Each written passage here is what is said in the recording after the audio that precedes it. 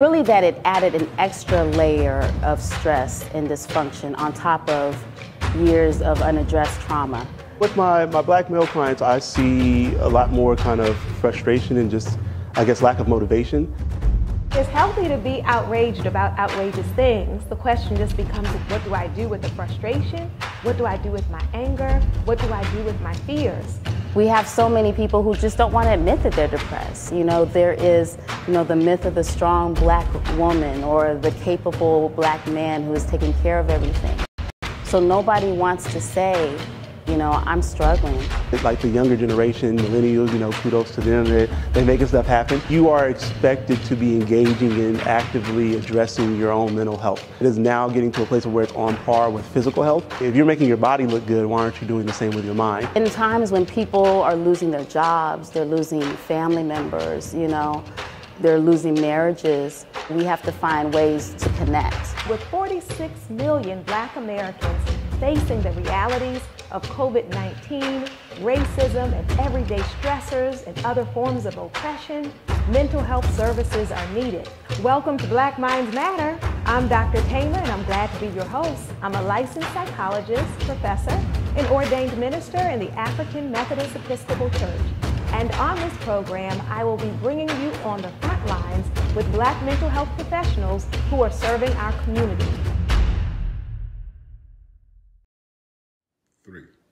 Hi, my name is Gabrielle Wood, and I'm a senior at the Rockdale Magnet School, and this is my speech entry. Over 50 years have passed, and Dr. King's dream still has not been fulfilled.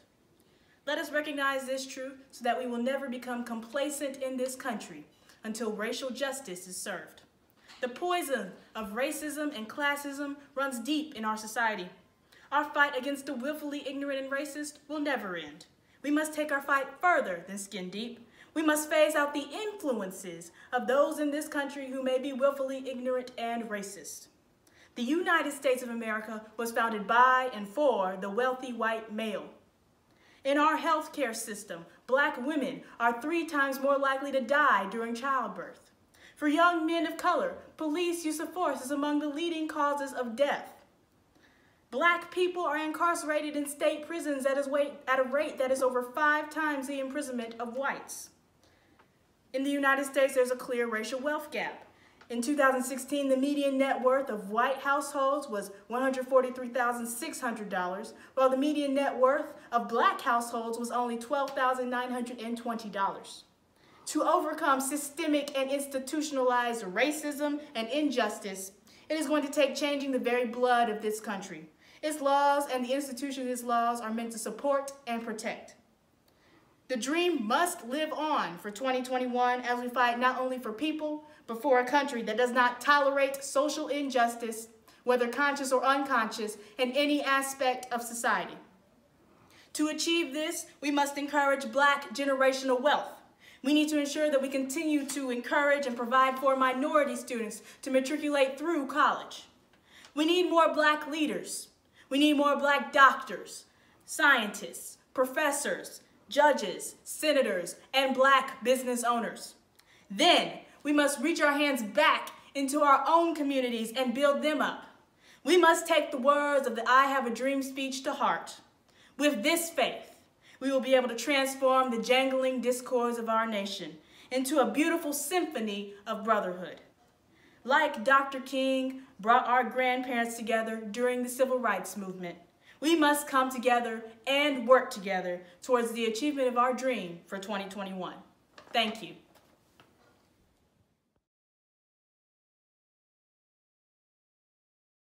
The late Dr. Martin Luther King Jr.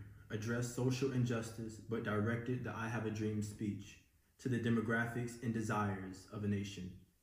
In the book, The Big Idea, Dr. Jamal Harrison Bryant suggests to us that from the wellspring of imagination, knowledge is acquired, volition is ignited, and achievement is actualized. But lean in just a little closer so I can tell you all that from the wellspring of your dream, knowledge is acquired, volition is ignited, and achievement is actualized.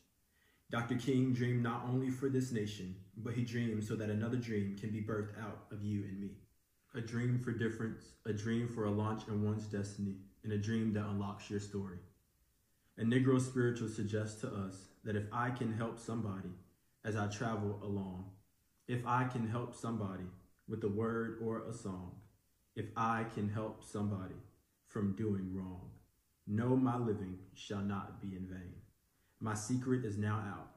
I wrote this speech to tell you all that you have a dream and a story that will help break the chains and curses off of a system that tries to marginalize African American women and men, that tries to handicap African American boys and girls from reaching their full goals in their academics, and then labeling them with different deformities and disorders, which is in fact injustice. Joshua told us that when you meditate on God's precepts, his life-giving word impregnates your dreams with big ideas and seeds of destiny that can transform every area of your life.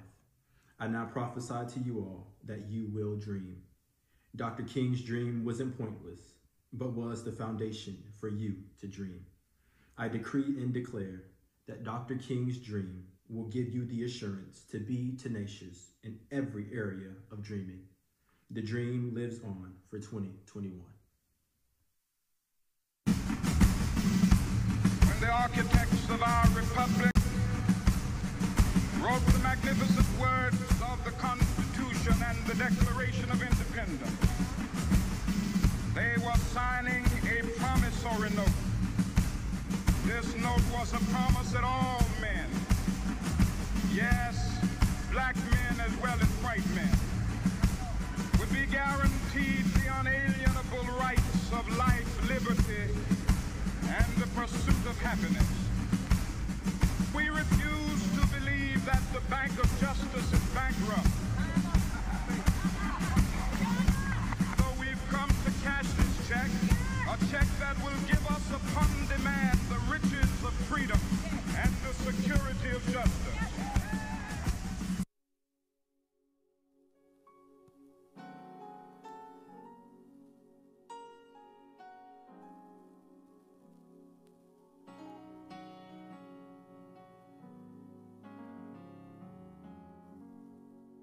And sings till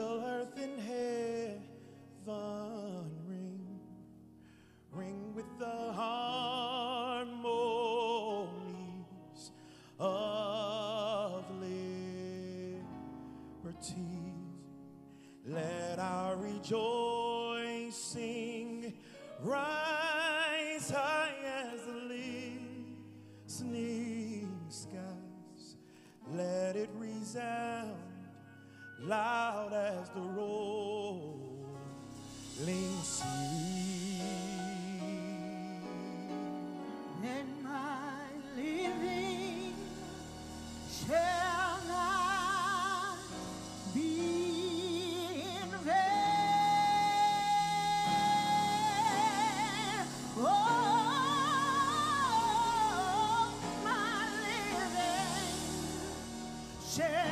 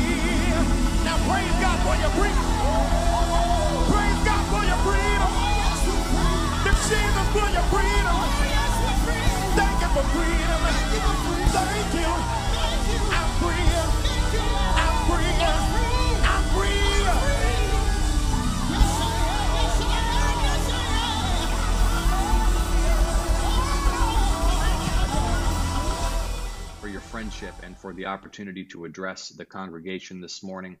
I hope, God willing, that soon we will be able to worship and fellowship together in person. In the meantime, I bear greetings not just from myself, but also from my wife, Dr. Alisha Kramer, and I hope this message finds the entire New Birth family in good health. I know that these are such difficult times, and so many are struggling with disease.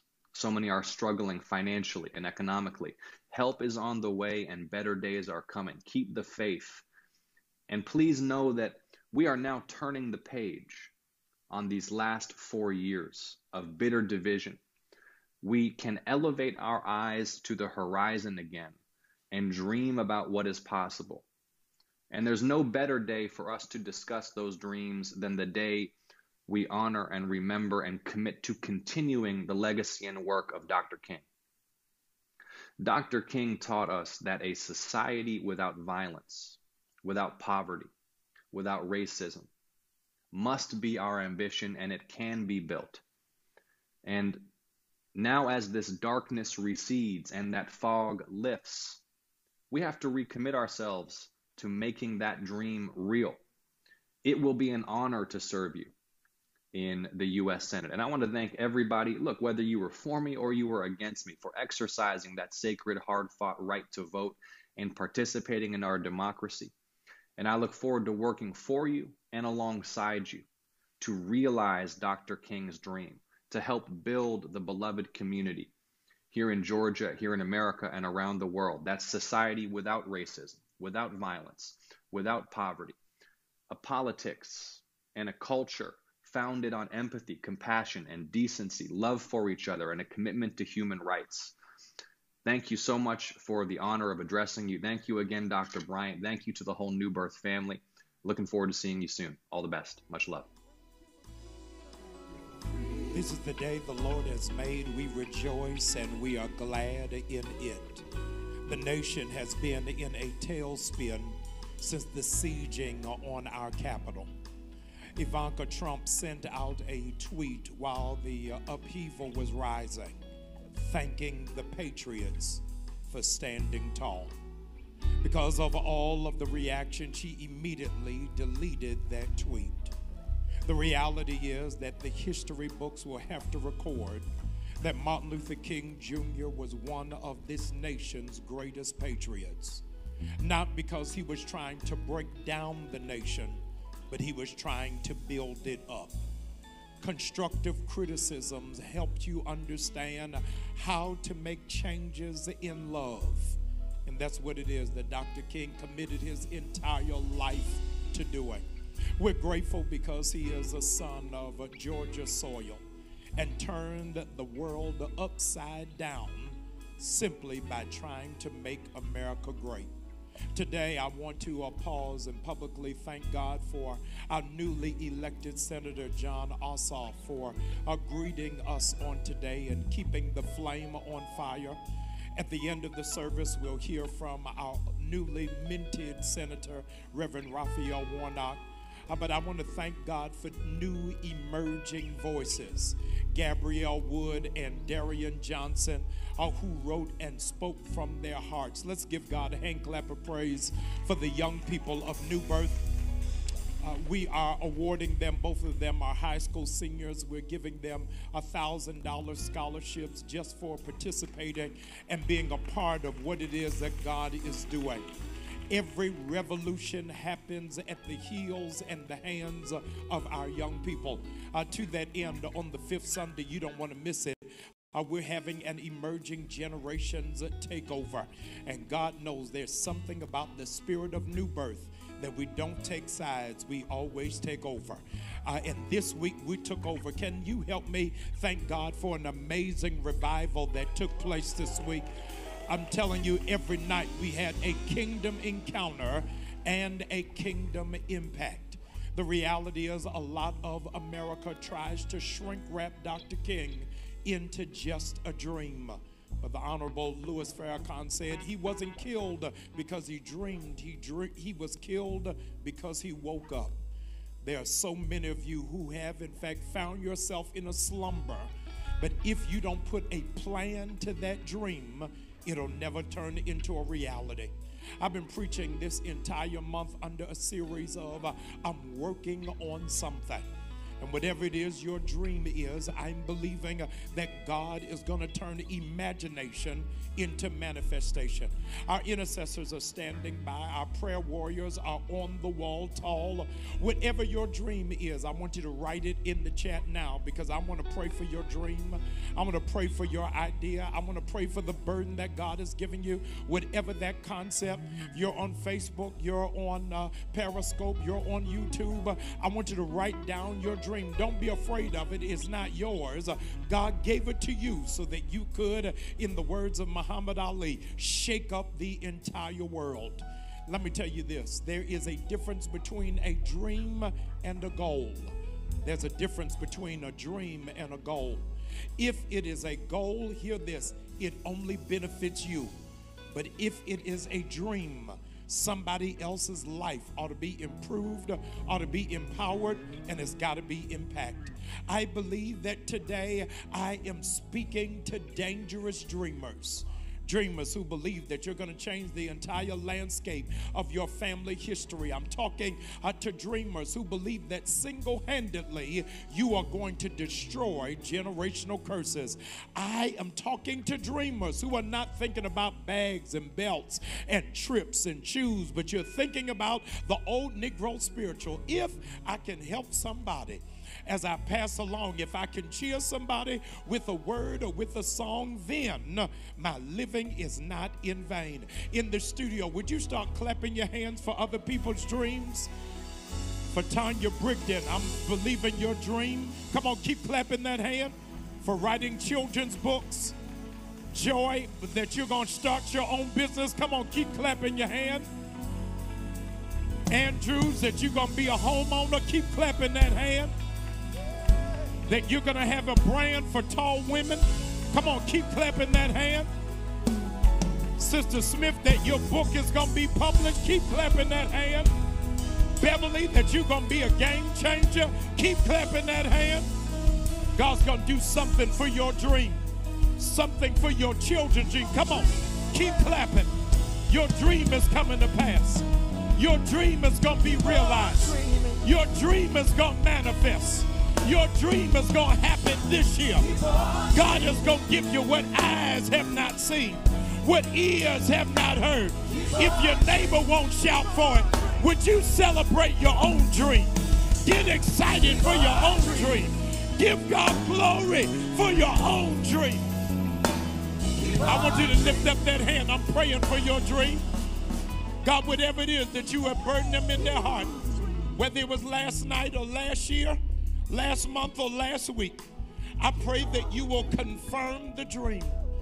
Let the dream take legs and feet, arms and hands, and begin to manifest. Don't let the dream die with them, but let the dream come alive in their lifetime.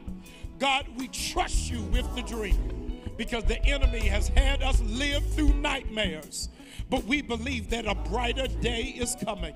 And those of you who believe that the dream inside of you is bigger than you, would you give God glory for your dream right now? Come on, I said, give God glory. You're not excited about it. I said, give him glory for your dream right now. We cannot just be hearers of the word, but we've got to be doers also. We believe, here it is, that God's going to do something in the words of my covenant brother, Bishop William Murphy, because we got a seed in the ground. We are putting a mandate on heaven. God, please don't forget me and my dream. Right below you, you'll find all of our prompts here at New Birth. We are a tithing church. We're tithing church, which means that we are, are, honoring God through our giving. That 10% of whatever it is that God gives us, we give back to Him. Because we know it won't always be a flourishing season, but sometimes there'll be some lean years. And in those lean moments, the church has got to be the storehouse to be able to take care of those who find themselves between a rock and a hard place. Any of you ever been through a moment where you had to dream about eating? Y'all ain't saying nothing. You had to dream about making sure your children had the sustenance that they needed. You had to dream to believe that it was not always be a place where you had to live with no utilities on. Had to dream while on the bus stop. I am believing what you make happen for other people, God is going to make it happen for you. I better give that to you again. What you make happen for other people, God will make it happen for you.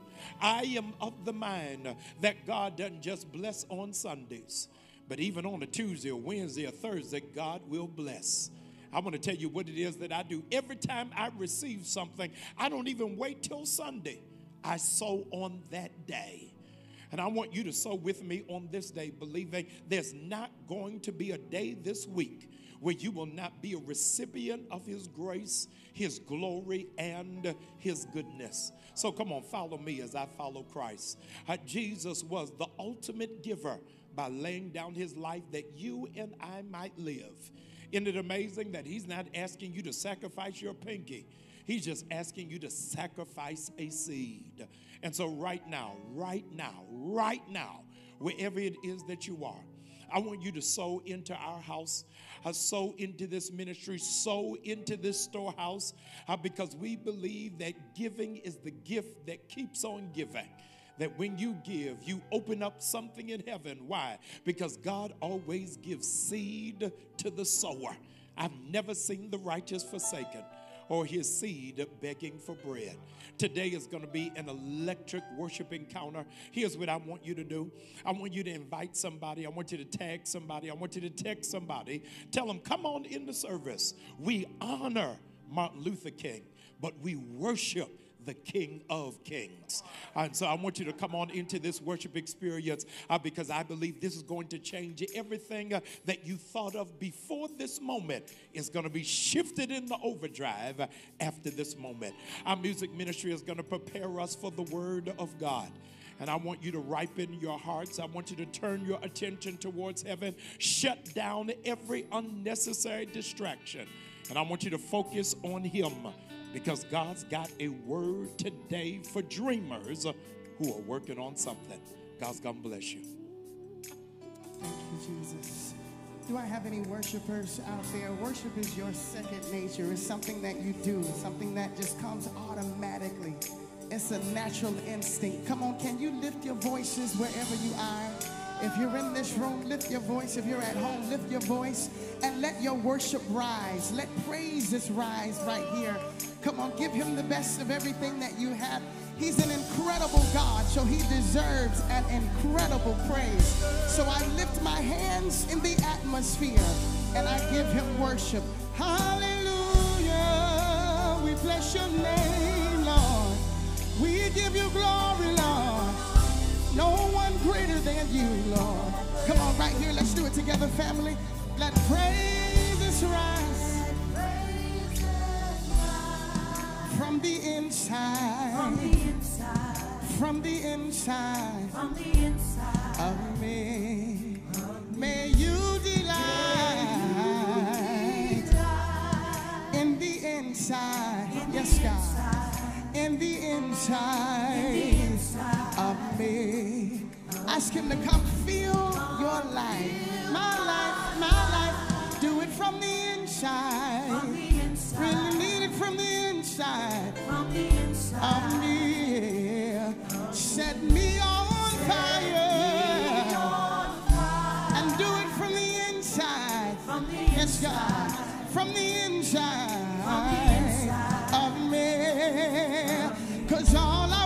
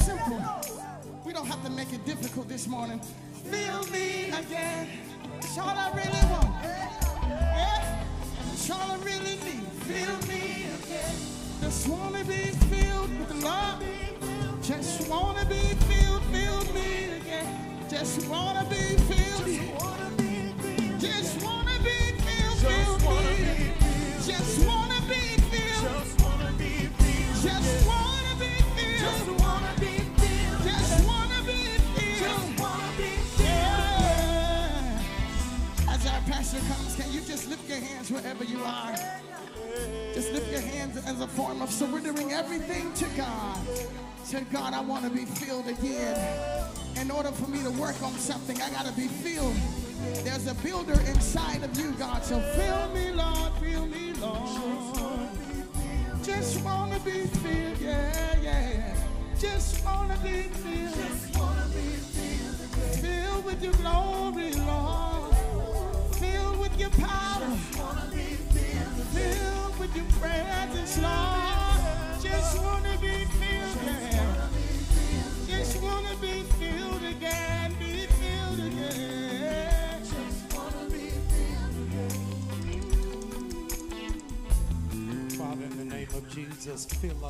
again. Touch us from the top of our head down to the soles of our feet. Those who are feeling disconnected from you, tap them with your finger of care. For those who are in the doldrums of depression, give them a jolt of joy. Those who are swimming in sorrow, rescue them from thoughts of suicide. Those who are dealing with mental illness, I pray that you'll breathe peace into their existence. For those who have become frustrated, fight the battle for them. Those who are weary in well doing, give them wings of the morning. It's in the name of Jesus we pray. Amen.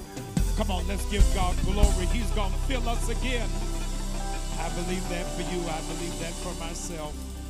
I am uh, so grateful for our music ministry, our media ministry, our musicians, our, our techno- technological team, all those who uh, are poured and labored to make this day uh, exemplary. I want you to know how much your pastor appreciates you.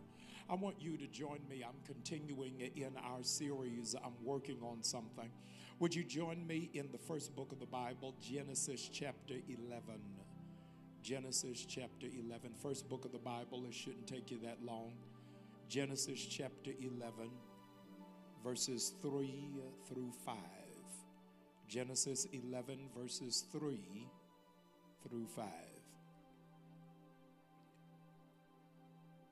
They said to each other, Come, let's make bricks and bake them thoroughly.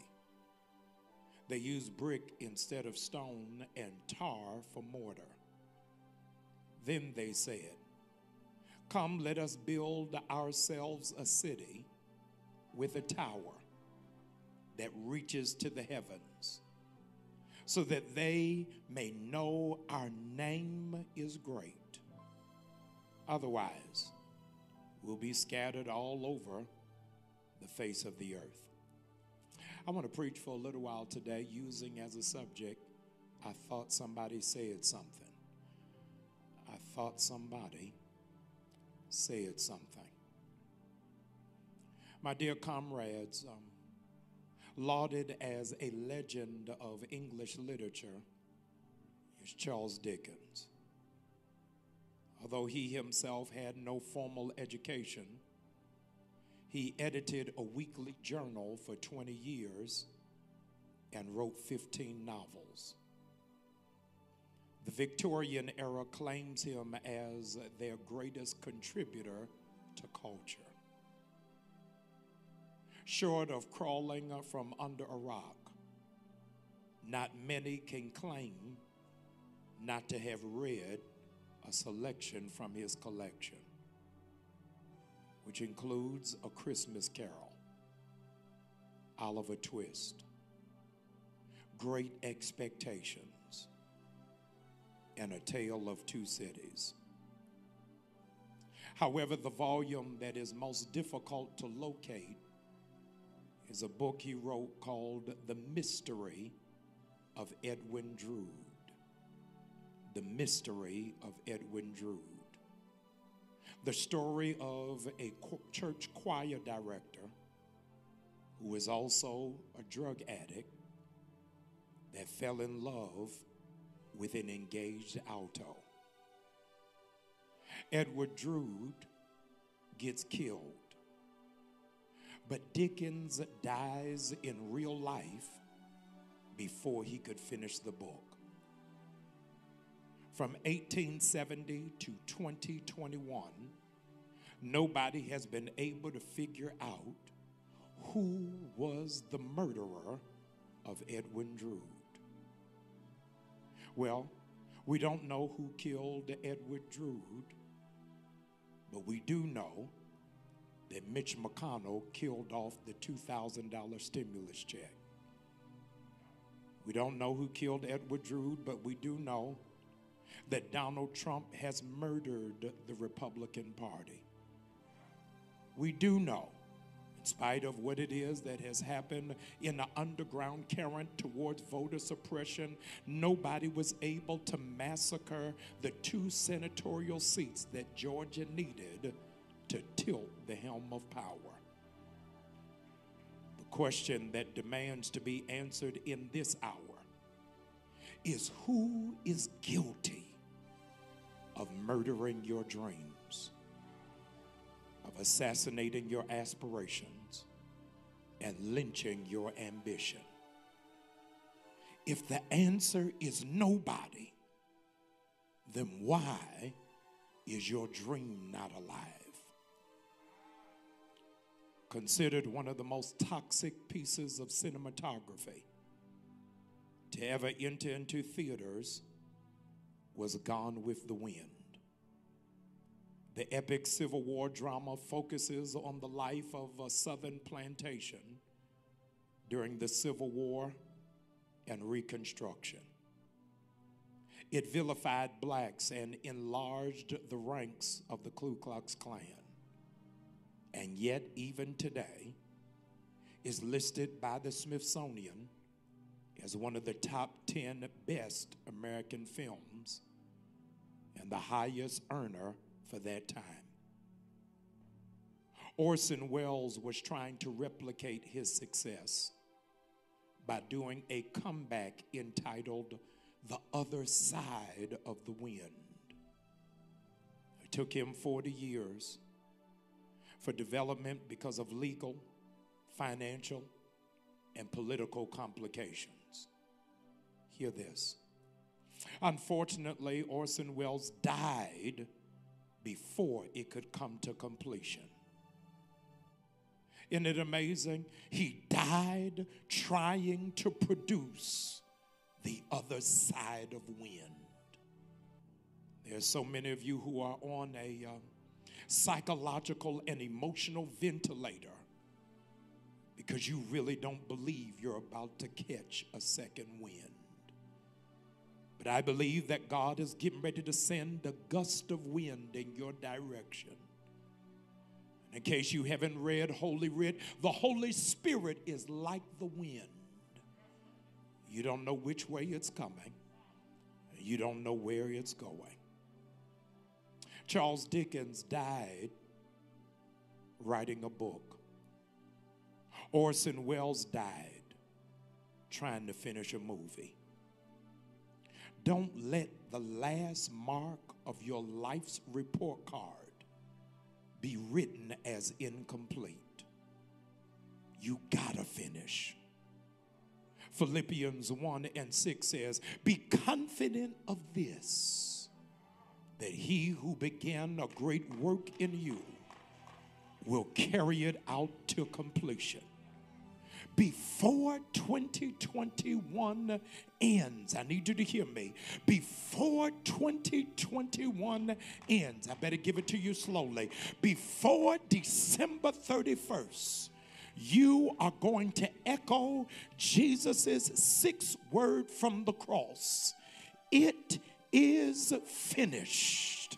That doesn't mean anything if you ain't working on anything. But those of you who believe whatever I am working on uh, before this year is over, I am going to stand over it and declare with all faith it is finished. Some of you don't believe it, but those of you who feel a conviction in your spirit that whatever I'm working on, I will not die until God gives me a second win to complete my assignment.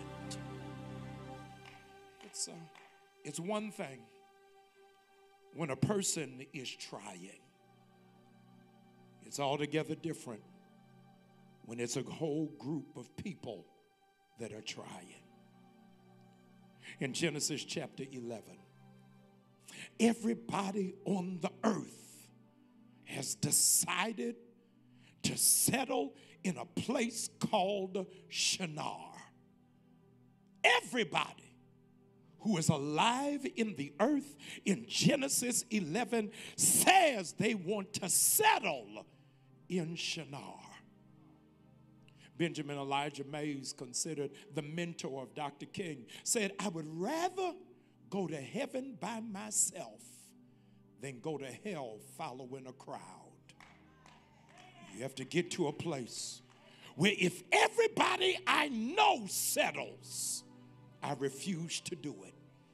My mother could have been a settler. My father was a settler. My friends were settlers. My line brothers were settlers. But I refused to settle because there's more for me than what other people can see. So I cannot judge my life by other people's low standard. I can't settle. The people of God conspired to build a city but not only do they want to build a city, they want to build a tower. But I want you to see why they want to build it. It is not because they don't need anywhere to live. It is not because God has not proven to be a provider. They want to build a city and a tower so their name could be great. Not only did they want to build it so their name could be great? Hear this. They wanted to build so they would never have to move again. I am afraid of people who want their names to be so big that they forget that there is a name above every name. We are watching this week the dismantling of a presidency that the New York Times will declare as a asterisk in history. We should have known something was wrong when Trump put his name on every building he built because it was his aspiration for his name to be great. There's something to be said of people who every sentence has got to start with them. You know, people, whenever it is that you give your testimony, they want to insert and interject their own accomplishment because they want their name great. The Bible says that in trying to build this city and this tower, they said they're going to do it and make it out of bricks. The problem is where they settled is a place called Shinar. And up until Genesis 11, everything that was constructed was made out of stone.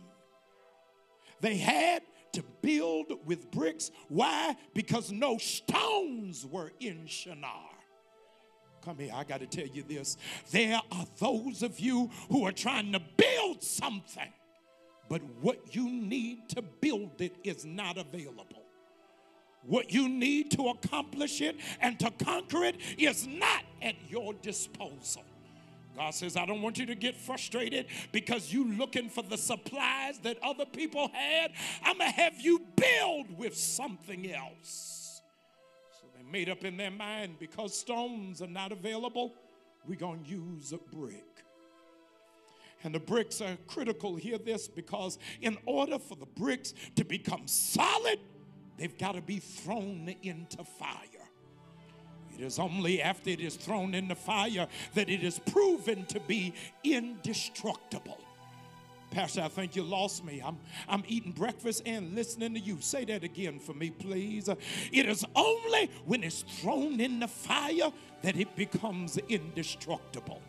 Because it is the fire that prunes it, that strengthens it, that gives it what it needs to be able to withstand every level of attack.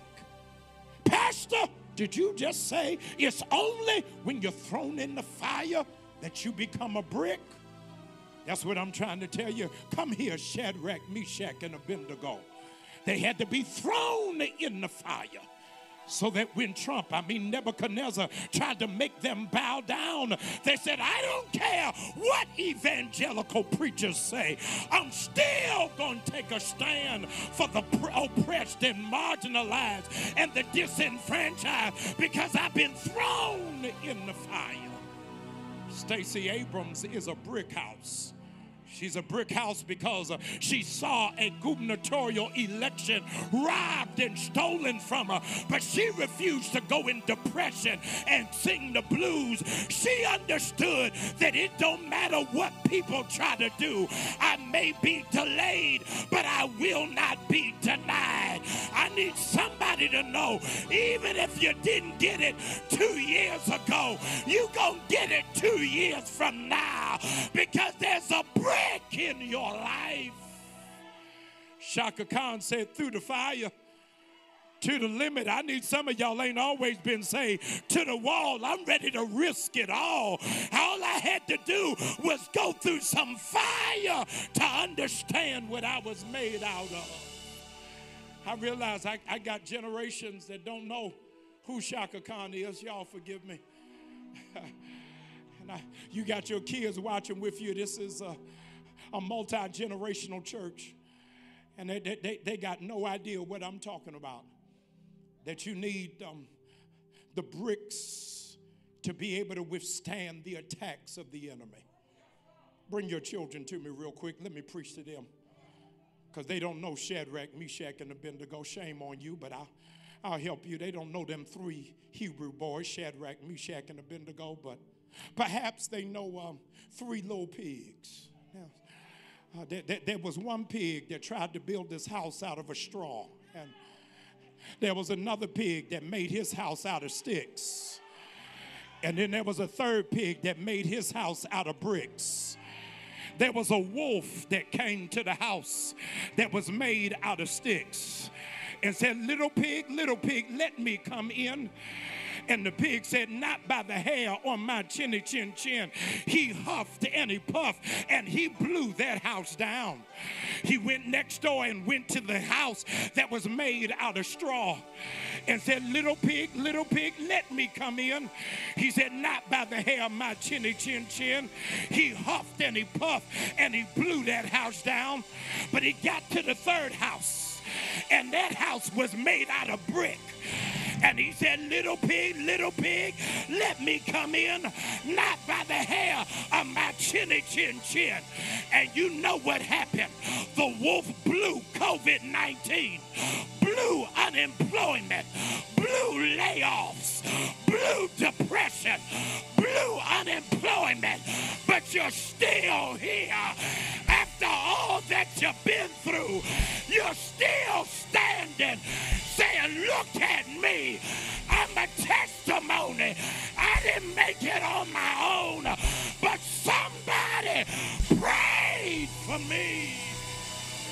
Hallelujah. Let the enemy blow. Let the enemy blow. Let the enemy blow. But I'm still standing. Hallelujah. I need you to lay hands on yourself and just shout out loud, I'm still standing. Oh, come on, say it out loud. The devil thought he had me, but I got away. I'm still standing. Not only, not only did they use bricks, but for the very first time they used tar, substance known as bitumen. The bitumen, here it is, is what you applied in between the bricks just to keep it together. Last night, Dr. Dre was released out of ICU having suffered a brain aneurysm from the stress of going through an expensive divorce. Because you can get to a place in life where you're so stressed that you feel like you've fallen apart. I'm talking to 50 people, it may not even be you, maybe it's just people in this studio who got to look back over your life and say, God, I don't know how, but you kept me together.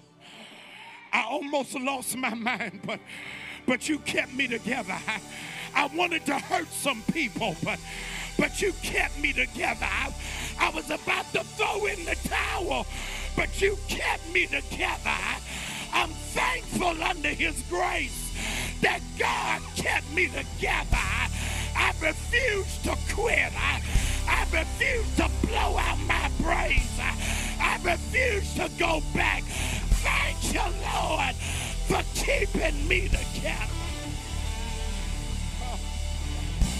They said, they said they wanted to name it because they wanted their name great. But they also wanted to build, hear this, because they wanted to stay where they are. I got to give some shattering news to some people that when you study the footprint of God, God will never allow you to stay where you're comfortable.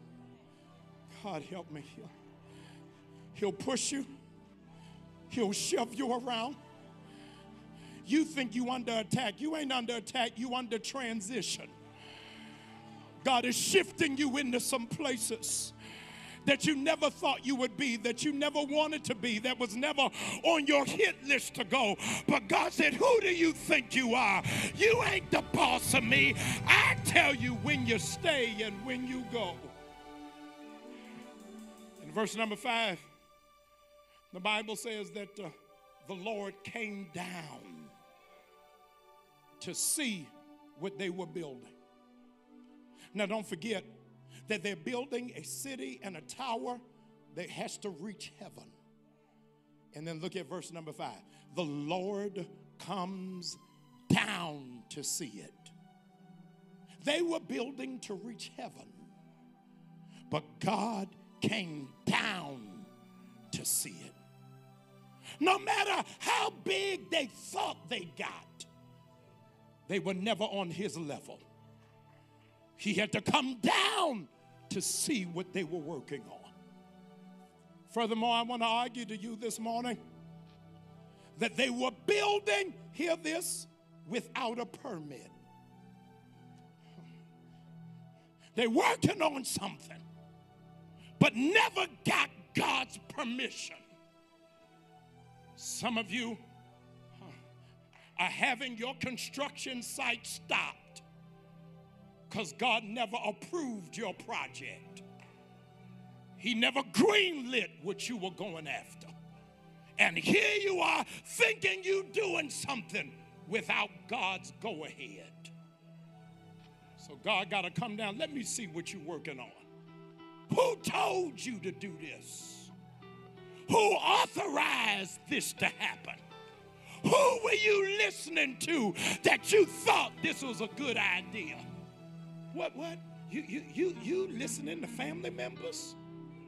You listening to somebody in a salon? You, you listening to the reviews of somebody online? I never told you that's what you're supposed to do.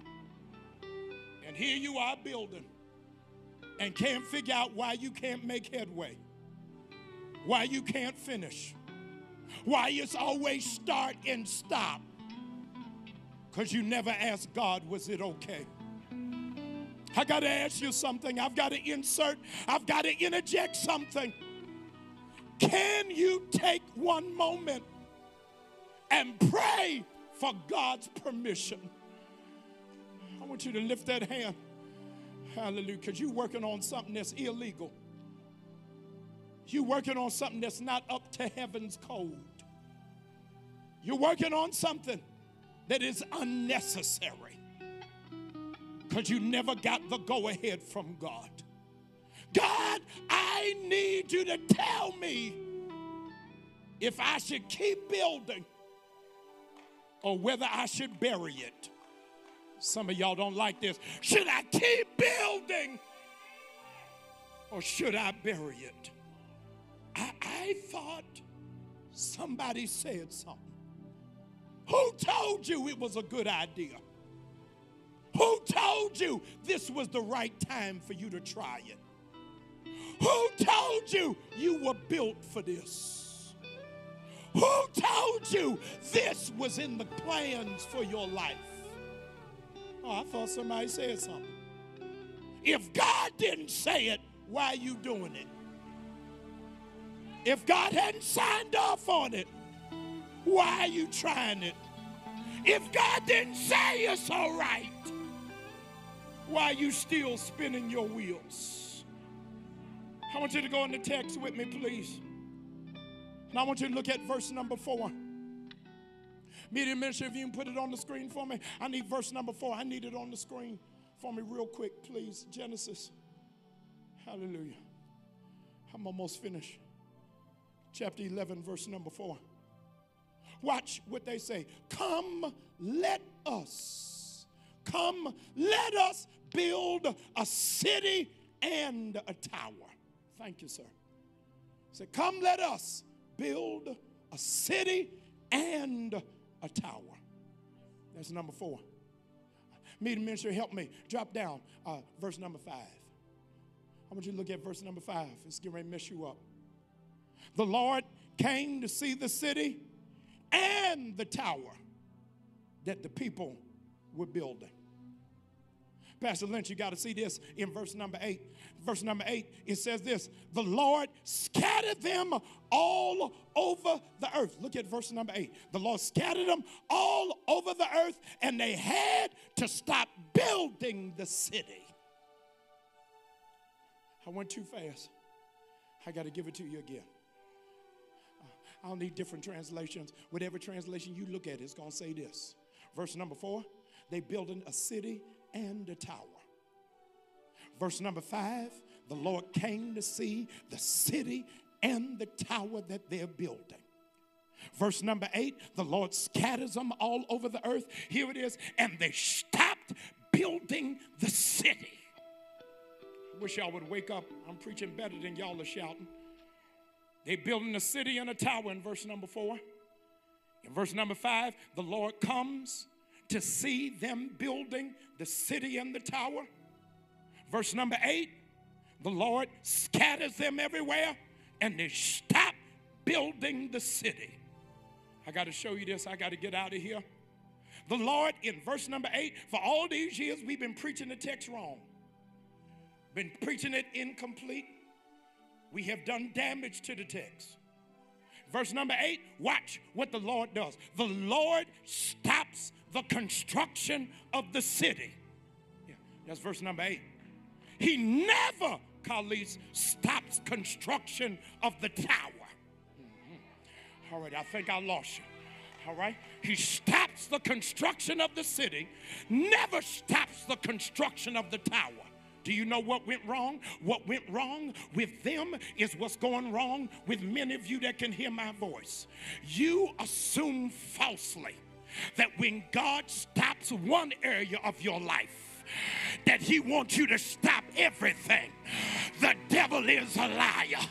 Whatever it is that God cut off, rejoice for that it is you're supposed to build, you got to go to another level. You got to go to a higher place. You got to keep stretching yourself to another dimension. I need somebody to shout for what you ain't working on no more. I need you to give God glory for what you ain't got to put no energy into.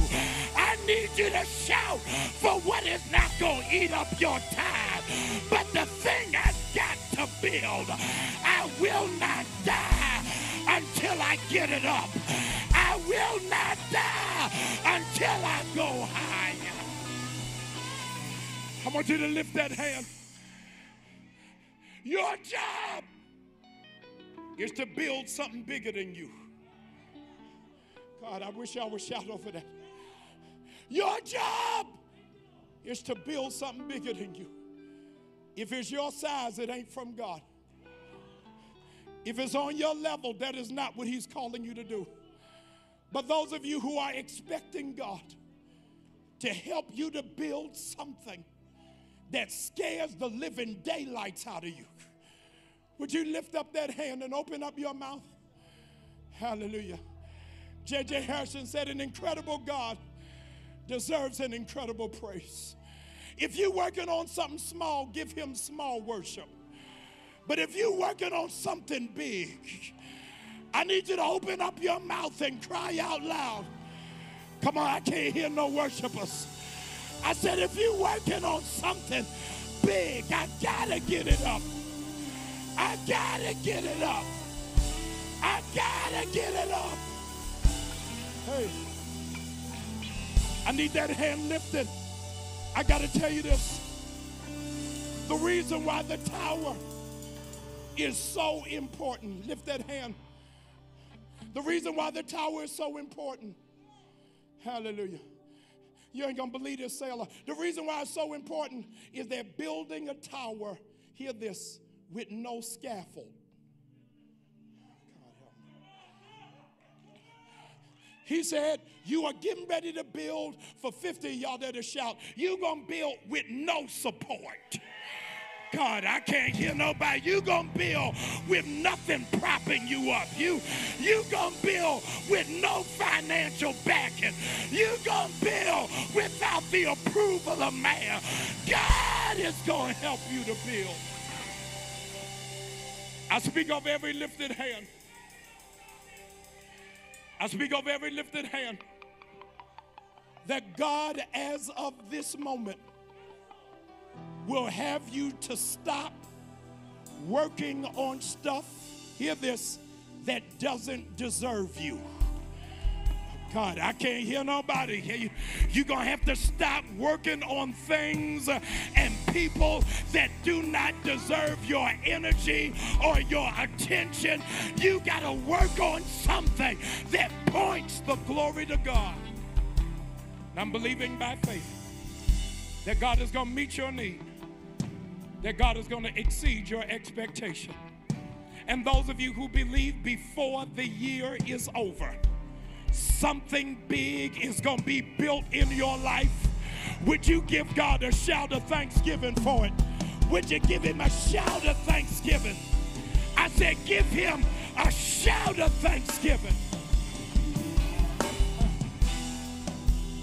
So, hear this from Genesis 11 until 2021. The tower has gone incomplete from Genesis 11 until this day, January 17th, it never got finished. From people who didn't know what to do, hear this, with partial permits. There's some of you who only know how to go after God when you get everything you want. But will you be faithful when God says no to some things? And yes to something else. You ought to thank God for what He shut down. You ought to thank God for what He didn't allow to keep going. You ought to thank God for what He cut off right at the edge before it could mushroom. I want to invite you, if I can, to be a part of a church that's working on something. Be a part of a ministry that's building something that will point to the glory of God. It doesn't have my name on it, it has his name on it. Those of you, here it is, with like minded faith. The book of Nehemiah said, and they had a mind to build. Those of you who are working on something, this is your church. Creatives, dreamers, entrepreneurs, innovators. This is the kind of ministry you need to be in. Those of you who refuse to settle, this is where God wants to plant you wants to blossom you, wants to bloom you. I'm telling you straight up and down, I want to be your pastor. I'm telling you, I ain't even playing with you today. I want this to be your church. I want to be absolutely clear. Most important to me is your name is in the book of life. And you have surrendered your will over to the will of God. I want you to do it right now. Our prayer counselors are standing by. Our team wants to bring you in and be a part of our family. If you'll follow the prompts and directives at the bottom of the screen, I want you to do that. Now, let me say this to you to all of the dreamers. All of the dreamers today, I want you to invest in your dream.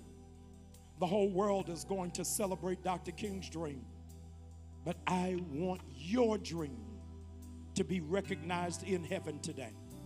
The late Dr. Myles Munroe said this that the greatest ideas, let me now insert, the greatest dreams are in the cemetery because people die with what they were supposed to live through. I don't want you to die with your stuff incomplete. I don't want you to die with your work undone. As a consequence, here's what I want you to do I want you to invest in your own dream. I want you to sow into your own dream. You could have A1 credit. I'm telling you, have a black American Express credit card. I can take you on Tuesday morning to see the president of Wells Fargo, Citizens Trust, Bank of America. We lay out your business idea. They still want you to put 10% in it. Why? Because the bank has the mind enough to know if you don't invest in your dream, then why should we? I want every person who can, every person who can. I want you to get a gift of 40, every dreamer. This is your first investment into your next business, into your next investment, into your next enterprise, into your next concept. I want you to sow that seed of 40 even now. Don't hesitate. Don't deliberate. Please don't wait. This is for dreamers. Whether you're giving on Givelify, Pushpay, text to give, whether you're writing a check and you mailing it to the church or dropping it off, I need the dreamers. And the brothers of Joseph made the announcement that I now have to echo Behold, the dreamers are coming. I believe that for you. The dreamers are coming. The dreamers are coming. Do you hear me talking about you? The dreamers are coming. I want you to get that seed in your possession.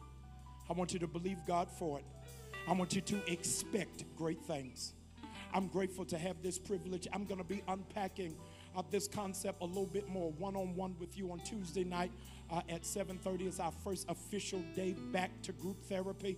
Uh, it's going to be an exchange that's really going to recalibrate your thinking and your thought process Tuesday night at 7:30. Make sure that you are present and a part of what God is doing.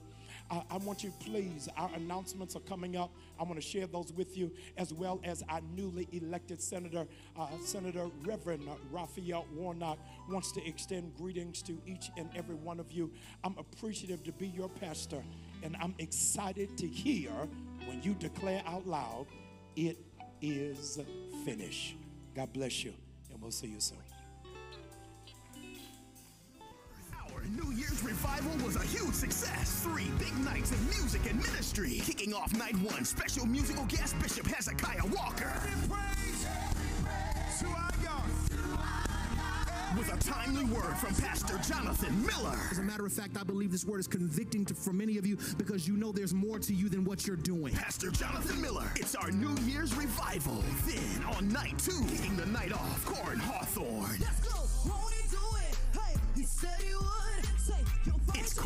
Hawthorne with a powerful word by Dr. Yvonne Capehart. The same reason the devil wants you dead is the same reason I want you alive. It's our New Year's revival. But then we kept the energy going on night three with special musical guest Jonathan McReynolds performing some of his popular hits. And Bishop Rudolph McKissick Jr. ended the revival on fire. But I came to tell you, if you give him the boat, he's already got the fish waiting on you. It's our New Year's revival. Get your copy of all three exciting nights at the Call to Conquer bookstore, online, or Saturdays from 8 a.m. until 1 p.m. And you can pick up the January book of the month, Pivot by Jenny Blake, available at Call to Conquer. Our January 30th back to school backpack pull up has been postponed to a later date. Continue to pray as we navigate the challenges of this school year. But hey, check this out. It's returning this Tuesday. It's group therapy, 7:30 p.m. Dr. Bryant has a powerful message on dreams and how they impact our lives. And don't forget our King's Table will be closed now through January 30th and will resume Saturday, February 6th. If you're in need of groceries, please contact the Atlanta Community Food Bank at acfb.org or text Find Food to 888 976 2232. We'll see you at the King's Table. Recently, it was announced that DeKalb County faculty, students, and staff would be returning to in person learning on January 5th. Well, New Birth Church, along with more than 100 people, rallied together several times in Stone Mountain to urge DeKalb County School District officials to delay plans for face to face learning in January. Then, DeKalb County teachers and representatives attended morning worship. Dr. Bryant sent up a powerful prayer, and all demanded that DeKalb County administrators delay the start of in person instruction until COVID's numbers improve. As a result of prayers and actions from New Birth and Dr. Bryant, Superintendent Cheryl Watson has announced during Monday's school board meeting that the district will push back in person learning by a month to February, but only if the county positivity rate is lower than 10%. Awesome news, New Birth, and that's gonna do it for our video announcements.